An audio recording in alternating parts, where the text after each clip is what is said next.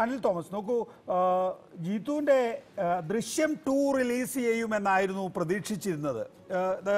ഞങ്ങളുടെ meet editors എന്ന പരിപാടിയിൽ ശ്രീ ജിത്തു ജോസഫ് തന്നെ വ്യക്തമാക്കിയിരുന്നു.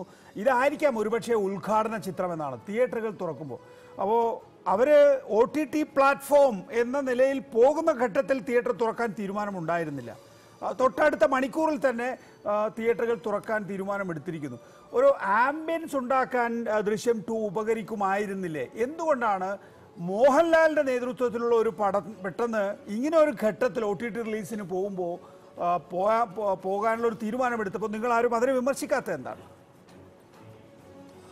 അല്ല ഇത് വിമർശിക്കാതെ ഒന്നും ഇരുന്നിട്ടില്ല. ഞാൻ എന്റെ ഭാഗത്തു നിന്നുള്ള കാഴ്ചപ്പാട് കൃത്യമായിട്ട് പറഞ്ഞിട്ടുള്ളതാണ് പിന്നെ ഒരു സംഘടനാ തലത്തിൽ ഞാനൊരു ഫിലിം ചേംബറിന്റെ ഔദ്യോഗിക ഭാരവാഹിയാണ്. ഞാൻ പ്രൊഡ്യൂസർ അസോസിയേഷന്റെ നിർവാഹ സമിതിയിലുണ്ട്. സംഘടനാ തലത്തിലുള്ള ഒരു റിയാക്ഷൻ എന്ന് പറഞ്ഞാൽ സംഘടന ചട്ടക്കൂടിൽ നിന്നുകൊണ്ട് അതിന്റെ പ്രസിഡന്റോ സെക്രട്ടറിയോ ഒക്കെയാണ് പ്രതികരിക്കേണ്ടത്. എന്നെ സംബന്ധിച്ചിടത്തോളം ഞാൻ കൃത്യമായി എന്റെ പ്രതികരണങ്ങൾ ചോദിച്ചവരോടെല്ലാം പറഞ്ഞിട്ടുള്ളതാണ്. എന്താണ് താങ്കളുടെ പ്രതികരണം എന്താണ്? എന്റെ പ്രതികരണം ശരിക്കും ഇത് വഞ്ചനാപരമായ ഒരു നീക്കമായി ഈ ദൃശ്യം ടു എന്ന് പറയുന്ന ചിത്രം ഒ ടി ടിയിൽ കൊടുത്തത് വഞ്ചനാപരമായ ഒരു നീക്കം തന്നെയാണ്. അതിന്റെ ഒന്നാമത്തെ കാരണം പറയാം.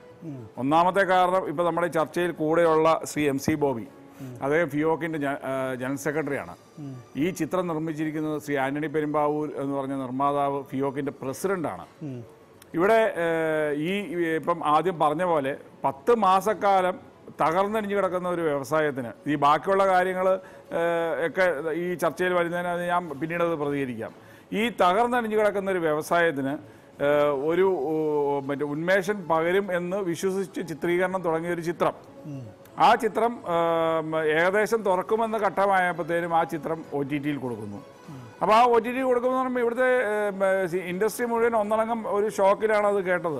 അത് ഒരു ഒരു കാരണവശാലും അവർക്ക് ഒരുപാട് ന്യായീകരണങ്ങൾ ഉണ്ടാവും പക്ഷേ ആ ന്യായീകരണങ്ങളൊക്കെ ഇപ്പുറത്ത് ഏഹ്, തൊ- ഏഹ്, തുലനം ചെയ്യുമ്പോൾ അത് അത്ര കണ്ട് വലിയൊരു മാറ്ററായിട്ട് നമുക്ക് സിനിമയിൽ ഇങ്ങനെ സെന്റിമെന്റ്സ് ഒക്കെ ഉണ്ടോ? അങ്ങനെ ഒരു ധാർമ്മികതാ പ്രശ്നമൊക്കെ സിനിമയിൽ സാധാരണഗതിയിൽ വരാറുണ്ടോ? ഇതൊരു കച്ചവടമല്ലേ?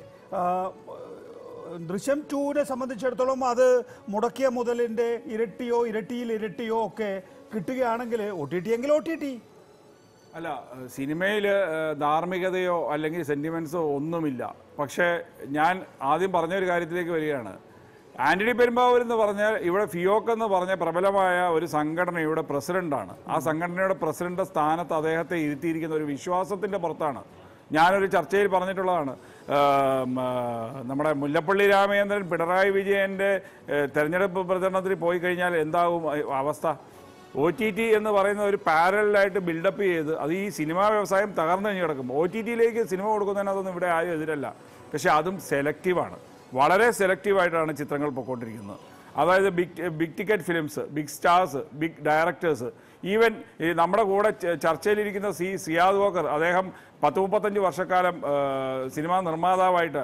നാളെ അദ്ദേഹം ഒരു ചിത്രം അനൗൺസ് ചെയ്താൽ ഇവിടെ ഒ ടി ടിക്കാർ ഓടി വന്ന് എടുക്കുമോ അവർ അവരും പോകുന്ന ഈ പോകുന്ന മാനദണ്ഡം എന്ന് പറഞ്ഞാൽ അതിന്റെ ഒരു ബിസിനസ് പരമായിട്ടുള്ള കാര്യത്തിലാണ് ഈ ബിസിനസ് തന്നെയാണ് ഇപ്പുറത്തെ തിയേറ്റർ തുറന്ന് തുറന്നിരിക്കുന്നവരുടെ അവസ്ഥ. കാരണം അത് പ്രേക്ഷകൻ കയറിയാൽ മാത്രമേ ഒരു നല്ല രീതിയിലുള്ള ഒരു ബിസിനസ് ഉണ്ടാവുകയുള്ളൂ.